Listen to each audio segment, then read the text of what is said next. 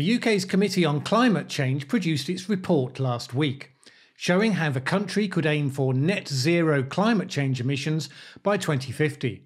I thought it would be useful to dive in and take a look at some of the detail of this. So in this video, we take one major part of the mix, electricity generation, and we answer the question, what actually would be involved in getting to zero?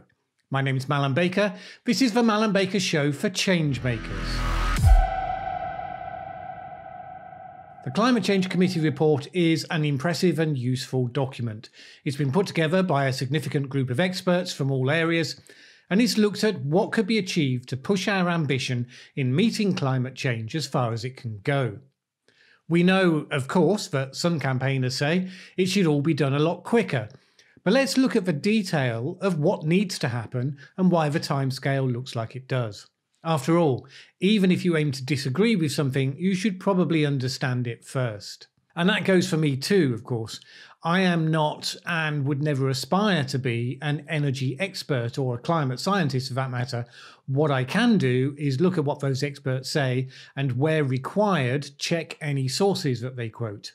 And yes, this is about the UK. If you're not UK based, your status quo will look different, but there will be other variables such as the options for renewables development. But this exercise will nevertheless inform your thinking on the topic, so I recommend you stick with it. For this video, I'm looking at a significant piece in the puzzle, the power sector. I may do subsequent videos on other aspects such as transport, buildings and so on if there's interest. Where are we today? The UK power sector made up 15% of UK greenhouse gas emissions in 2017, which is 64% below 1990 levels. That reduction came mainly through the country moving away from coal fired power stations, mostly moving to gas. Low carbon energy, meaning nuclear power and renewables, currently makes up over half of UK electricity generation. And with a massive drop in prices for renewable energy production, a simplistic worldview would say, well, that's great. All you need to do now is build a whole bunch more renewable generation capacity, retire the other 50% of carbon producing sources, and bingo, no problem. And because we can deploy that technology fast, we could do this all a lot quicker, say by 2025. Well, not so fast. First, you need to understand the principle of how the energy system works. This is literally GCSE physics. It shows the level of electricity demand through the course of a day. The dotted line represents the energy base load, the amount of electricity being generated as standard. You can see that in the evening, demand peaks because everyone's at home doing whatever they do, and that pushes demand above baseload. So at that moment of peak demand, you need to be able to bring online additional capacity to meet the demand. That means forms of energy generation that can be brought online at short notice. Typically, this has meant gas fired power stations that can be fired up in about an hour. Now, what currently creates the demand? 36% of the electricity is used by households, 34% by business, and 31% by industry. Within households, that breaks down to 71% used by appliances, 16% by lighting, 7% cooking, 6% heating. In recent times, that demand has been falling due to appliances and lighting becoming more energy efficient. However, moving the UK to zero emissions will necessarily involve significant increases in generation, and that's mostly because of a move to electricity for vehicle power and building heating. The report estimates an uptake of 12.5 million electric vehicles, 2 million heat pumps. So the solutions have to build in that major increase in capacity. Add to this the other factor in the mix renewables, wind or solar power particularly, are dependent on the weather.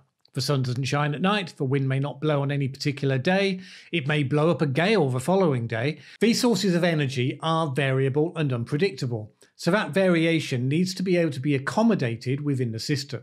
How do you accommodate something like that in the system? You need capacity to store energy for later use. So when it's being generated, you're capturing it so that it's available for when the wind isn't blowing. You need the ability to use peak energy generation when the wind is blowing as hard as it can. You want to be able to capture all of that electricity. Otherwise, some of it will go unused and wasted, which will make the relative cost of generation a lot higher. And if you get points of peak demand for an extended period, such as during a very cold spell in winter, you need forms of standby energy that can be brought online. And for a zero carbon scenario, that also needs to be zero carbon. So, what does the CCC recommend us to get to zero? First, yes, it sees a major growth in renewables, principally offshore wind generation. Offshore wind turbines have become significantly cheaper and more efficient over the last few years. There are currently around 2,000 wind turbines in UK waters, with an average capacity of 4 megawatts. Those would be replaced in any case by 2050, and they would be replaced with newer turbines capable of generating 10 to 15 megawatts. The CCC scenario would require 7,500 turbines overall, which would take up around 2% of the UK's seabed. However, the increase of that generation capacity to between 50 to 75% of the UK's energy generations needs improvements in the system's flexibility to cope with that variability of wind demand. This would involve increased deployment of battery storage, highly efficient connection with other countries, and fast response peak sources. The CCC scenario assumes the use of a minimum of three nuclear power stations, providing steady, predictable baseload energy. At the moment, just one nuclear power plant is being built at Hinkley Point, which will provide 4% of electricity generation at the expected 2050 consumption levels. Mechanisms to fund the development of new nuclear power plant will need to be found to make the other two happen, since this is what's led to several other proposed plants being cancelled. Of course, nuclear provides baseload. It isn't suited for peak time variable energy. So that relies on gas or hydrogen with the addition of carbon capture and storage. And this is one of the most difficult areas. If you simply have gas powered stations providing that capacity, you may reduce emissions very low, but you won't get to zero.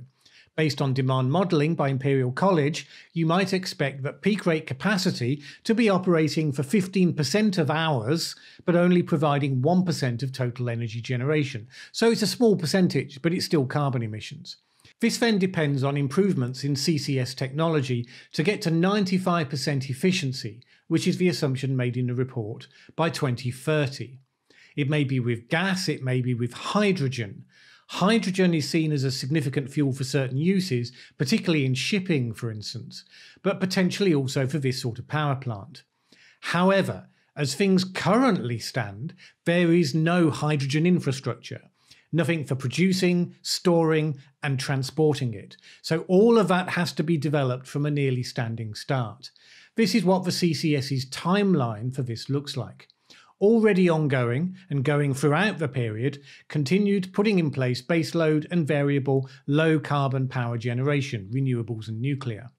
Also ongoing, increasing the electrification of transport and heat. Decarbonising the peak demand energy sources with CCS starts by 2030, hopefully, as the technology is sufficiently developed to perform to at least 95%. By 2035, we should be ready with a hydrogen infrastructure to help with decarbonising backup power.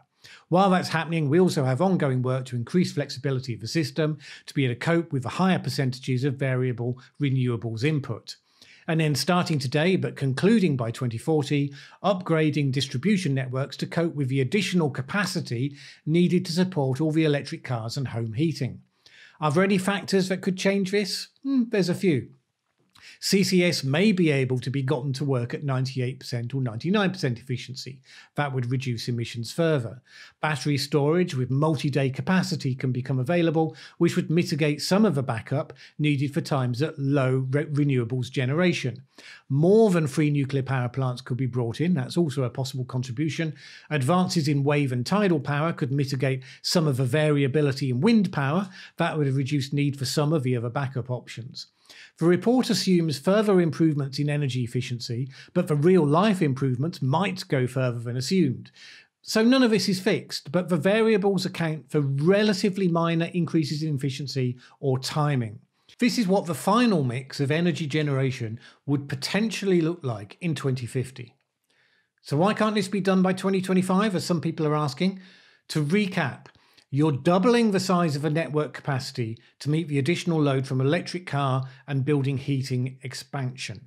You're relying on technological innovation to get CCS to the efficiency required, and you're producing a minimum of two new build nuclear power plants. You're also massively expanding the number of turbines. That's not really the time constraint.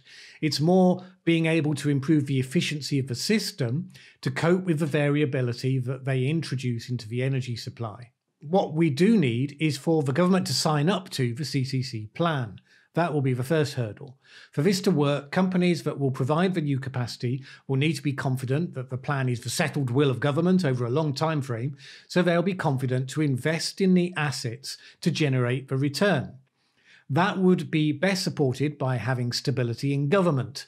And I don't know if you noticed, that isn't exactly a description of what we currently have. Anyway, there it is. Hope you have found that interesting. Let me know what you think in the comments below. Let me know, particularly if you want other analyses of some of the different areas of the CCC report.